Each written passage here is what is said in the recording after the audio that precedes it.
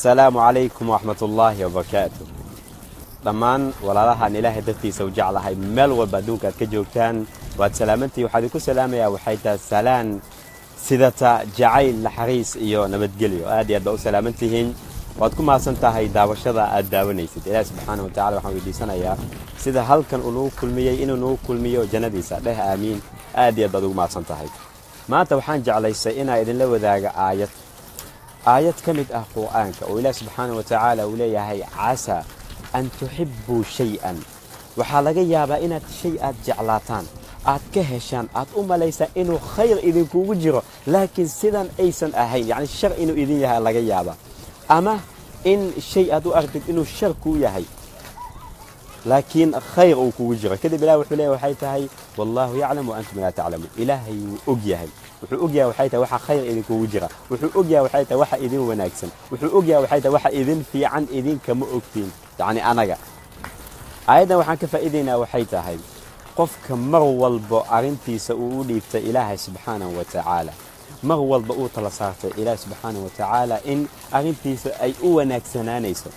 mar walba uu ku qanco mar walba raalli uu ku noqdo wuxuu ilaahay subxaanahu wa tacaala uu u qoray. Tusaale yar haddaan soo qaadano maanta adiga haddaad dhashay wiil ama gabar haddaad dhashay cunugaas yarka ah mar walba shukulaata markuu cuno shukulaata maanta o dhan markuu cunayo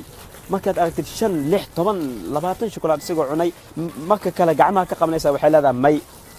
Bes ma cuni kartid way isku dhammaatay yacni diiditaankaas aad u diidaysid ma nacaybba mise waa jacayl aad jeceshahay? Iga jawaab bad walaalayaa. Ma jacayl aad jeceshahay cunugaaga gabadhaada ama wiilkaaga mise waa nacayb aad nacbanta ayaad oogu diidaysa shukulaatadan badan uu cunayo? Waa jacayl aad jeceshahay sababtoo adigu waxaad og tahay yacni waxa ka dhalan kara ayaad og tahay shukulaatada badan hadduu cuno. Laakiin cunugan ma ogaas wuxuu is leeyahay maxaa laygu diidaya shukulaatadan yacni waxaan ka wadaa waxay tahay marka qofka insaanka ah mar walba arrintiisa uu dhigto ilaah subxaanahu wa tacaala oo bal waxaa laga yaabaa arrin in uu ka murugoodo oo mar walba dhib uu arko uu ka welwelo lakin ilahi subxaana wa tacaala uu raba in wuxuu haysta maahane wax ka wanaagsan wax ka sii badan inuu ugu bedelo bal walaalaya qisooyinka ila dhegeys nabi muuse calayhi salaatu wasalaam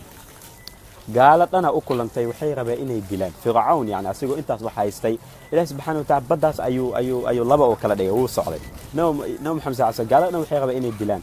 ilahi subxaana wa tacaala wuu badbaadiyey nabi yuusuf calayhi salaatu wasalaam waxay rabeen walaalihii inay dilaan muusan dhiman lacag yaraa lagu gatay addoonnimo ilaah subxana wa tacaala boqor ayuu ka dhigay ibraahim yacni dabkaas ayay ku rideen ilaah subxana wa taala dabka ayuu wuxuu ka dhigay baradan wa salaama qaboob oo naxariis leh ayuu ayuu ilaah subxaana wa tacaala ooga dhigay yacni ilaah subxana wa taala markuu rabo addoon inuu badbaadiyo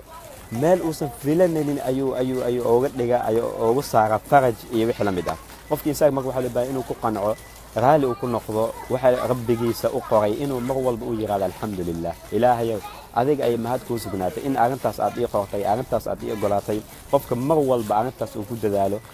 mar walbana qanaacadiisa iyo farxadiisa way sii ziyaadaysaa. Hal midna aan ogaana waxay tahay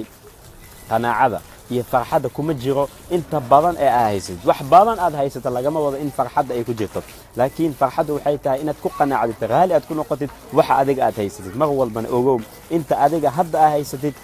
boqolaal ayaa jirto aanan haysan. Ishan hadda adiga aad igu fiirinaysid dhagahan aad igu maqlaysid gacmahan lugahan qofka mar walba rabbigiisa subxana wa tacala u mahad celiya wuu u ziyaadinayaa ilahna wuxuu jecel yahay addoonkiisa markuu biyo uu cabo u mahad celiyo cunto markuu cunana u mahad celiyo aan noqono kuwa rabbigooda caza wajal u mahad celiyo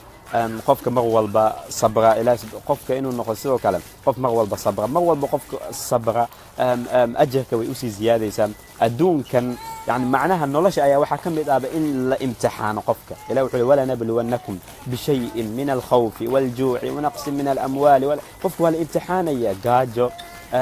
Waxyaabaa lagu imtixaanaya waxaa liibaanaya waxay tahay qofka sabra ajar aad ku helaysaa waa shay loo baahan yahay qofka inuu ku dadaalo qanaacadaas inuu qofka mar walba uu ku qanaco ilaah subxaana wa tacaala uu qoray aan ku dadaalno. Allah idin xifdiyo mar walba aayadan aan xasuusano. Wuxuu ilaah subxaana wa tacaala noo qoray ayaa ka wanaagsan oo uu noo doortay ayaa ka wanaagsan ka fiican kana qayr badan waxa adiga aad dooratid allah idin xifdiya aad iyad waa u mahadsantihiin walaalihiina u sii faafisa ee ugu faa'idaystaan intaas ayaan jeclaysnay adinla wadaago walaalidiina quruxda badan oo u jeeda maasha allah xafsa sumeya saadaq idil